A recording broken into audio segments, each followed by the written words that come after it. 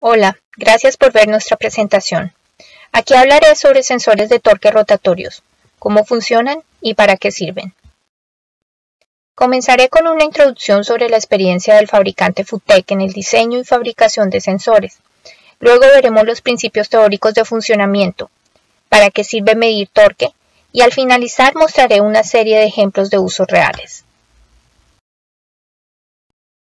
ES Instrumentación representa en Colombia la compañía californiana FUTEC. Esta empresa, desde hace casi 30 años, diseña y fabrica sensores de torque, celdas de carga y sensores de presión. Además de los sensores, ofrece soluciones completas incluyendo instrumentos para manejar y visualizar los datos tomados por los sensores. Los sensores de FUTEC están basados en cargas extensiométricas de lámina de metal. El diseño y calidad se demuestra en aplicaciones tan exigentes como mediciones en aguas profundas, el rover en Marte o químicos criogénicos. El componente principal de los sensores de torque son las galgas extensiométricas de lámina de metal. La imagen muestra el diseño típico de una galga extensiométrica. La forma, funcionalidad y tamaño varía de acuerdo a los requerimientos del sensor. El tamaño típico de las galgas utilizadas en estos sensores es de 8 milímetros, la galga que vemos es sensible en una dirección y está hecha de láminas en una aleación especial que incluyen Constantan y Karma. El aislante del respaldo es un epoxi o poliamida. Las galgas extensiométricas son muy robustas, fáciles de usar y se pueden utilizar sobre diferentes formas y superficies. Esto es especialmente práctico cuando se está trabajando con superficies que no son planas, como por ejemplo tubos o ejes. El torque es la tendencia que tiene una fuerza a rotar un objeto sobre un eje. Matemáticamente, es el vector producto del radio y la fuerza. La precisión de la medición de torque se ve afectada por la desviación lineal, la temperatura y la velocidad de rotación. Existen dos tipos principales de torque, estático y dinámico. El torque dinámico implica una aceleración angular, mientras que el estático no. El torque estático es relativamente fácil de medir. El torque dinámico es más complejo ya que requiere transmisión del lugar de medición en rotación a un sistema estático. Hay dos tipos de torquímetros, de reacción y rotatorio. Los de reacción son estáticos, es decir, no tienen partes movibles, mientras que los de tipo rotatorio giran. Este dibujo muestra el principio como una galga extensiométrica mide torque. Aquí vemos una galga unida a una vara. Cuando se ejerce torsión sobre esta, vemos como la galga se deforma. Las propiedades físicas de la galga hacen que la resistencia eléctrica cambie. Este cambio de resistencia es proporcional a la torsión. Las galgas extensiométricas permiten estabilidad a largo plazo, mayor rango de temperatura de operación y más inmunidad a vibraciones comparadas con otras tecnologías basadas en componentes magnéticos o capacitivos. A continuación explicaré unos aspectos importantes. La diferencia entre sensores de reacción y rotatorios, la importancia de los acoplamientos y alineación, e información sobre rodamientos, encoders y anillos rosantes. Como mencioné anteriormente, los sensores de torque de reacción no están unidos a partes giratorias. Por esta razón no son aconsejables para aplicaciones de control, ya que existe un retraso en la medición de cambios rápidos de señales. Por otro lado, los rotatorios sí están unidos a elementos que giran a través de rodamientos y anillos y son capaces de medir a velocidades de 3.000 a 50.000 RPM. Estos sensores deben estar montados en línea con el elemento al que se le mide el torque y es necesario más mantenimiento debido a las partes movibles del sistema.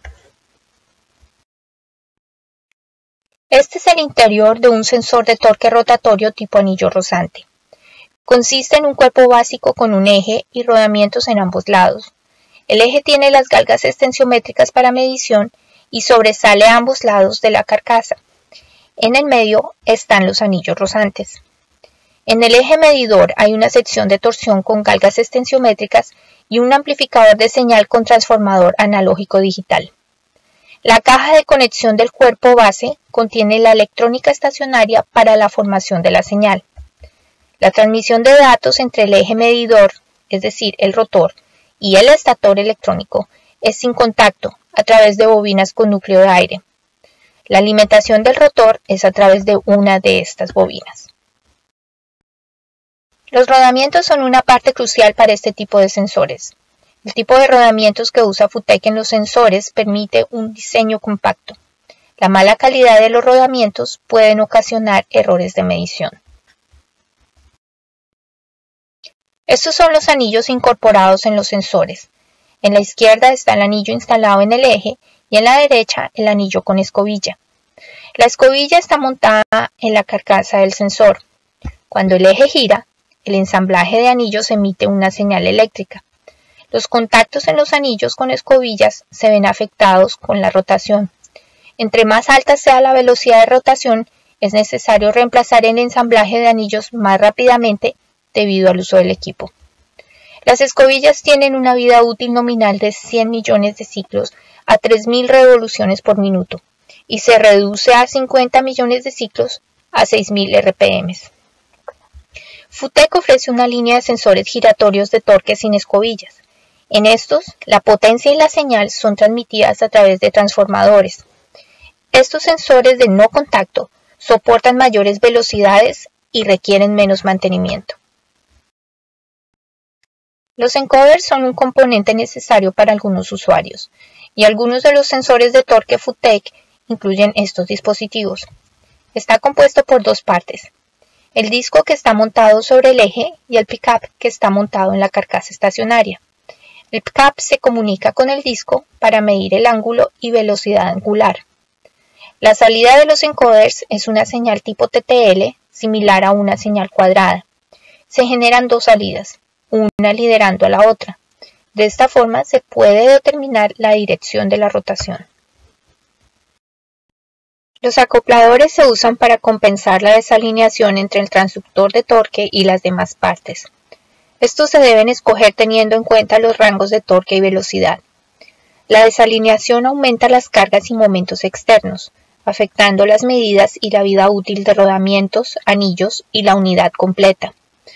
Los transductores deben ser protegidos contra fuerzas y momentos que los doblen.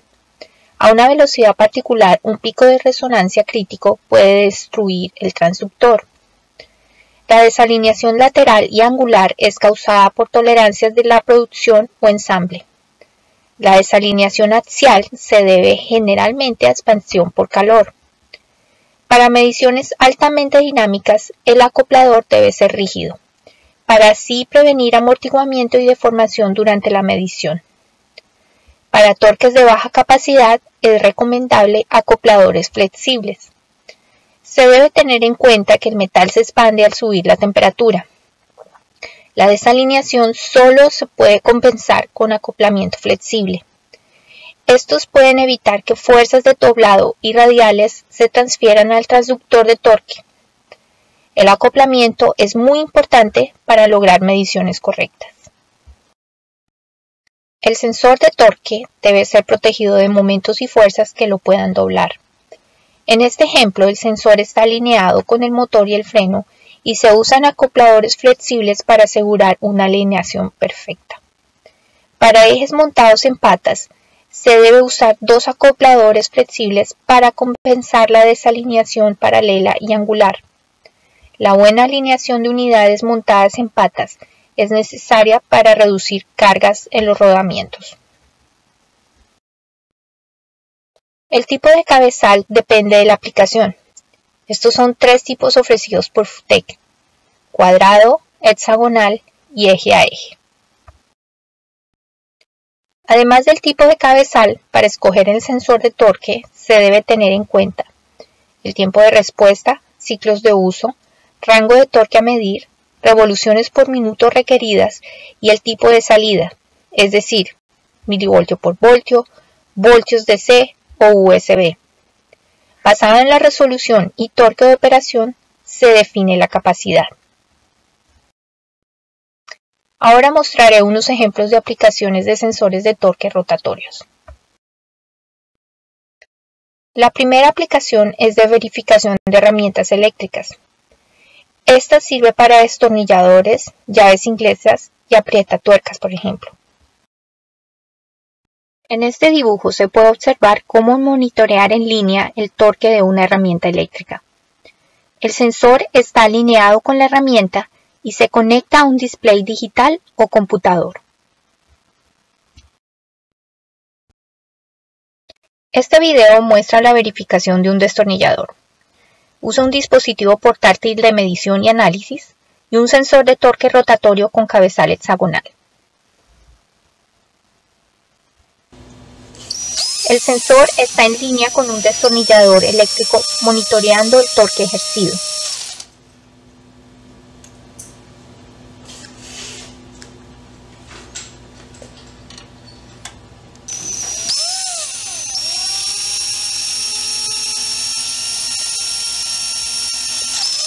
Los datos son almacenados en el dispositivo portátil para posteriormente ser visualizados y analizados con el software. El siguiente tipo de aplicación es medición de torque en bancos de pruebas de motores, pruebas de motores y pruebas de resistencia. Los bancos de prueba de motores están compuestos por el motor, sensor de torque en línea, instrumentación de interfase objeto de prueba. Este tipo de aplicación se usa para verificación, validación, calificación y pruebas de resistencia y predicción de confiabilidad de partes rotatorias. También es utilizado para estimar la vida útil de rodamientos y anillos rozantes y verificación de fricción.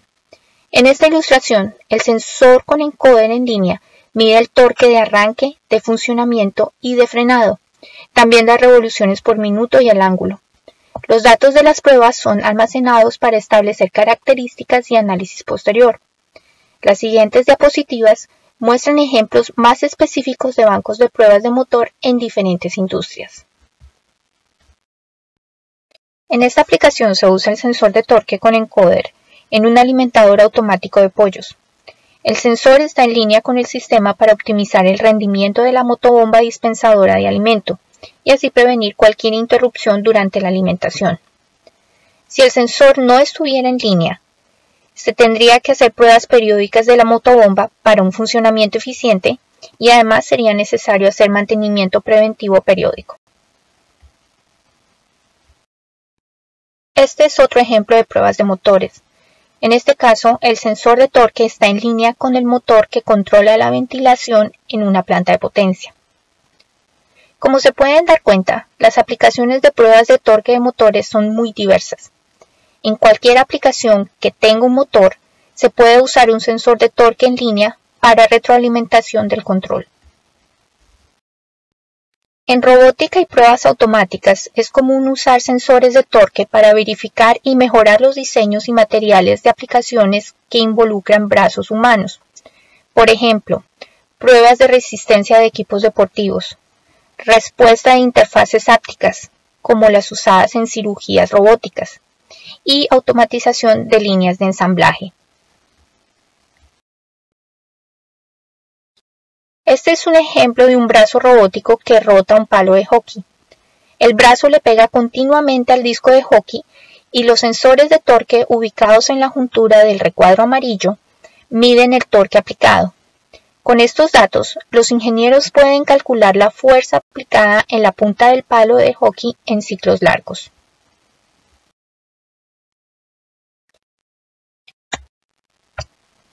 Este video muestra la aplicación en donde un brazo robótico emula el golpe de un palo de hockey y usando el sensor de torque giratorio se puede analizar bajo qué condiciones el palo se puede romper.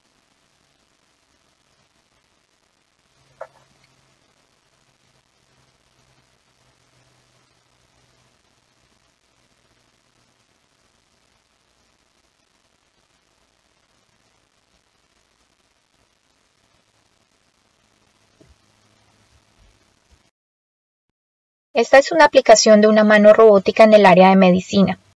Es un proceso de corte de precisión de respuesta rápida y desempeño repetitivo. Los sensores de torque están ubicados en las junturas para movimientos precisos. FUTEC produce sensores de torque miniatura de 18 milímetros de diámetro por 31 milímetros de largo, apropiados para cirugía robótica. Con estos ejemplos observaron diferentes aplicaciones de los sensores de torque giratorios.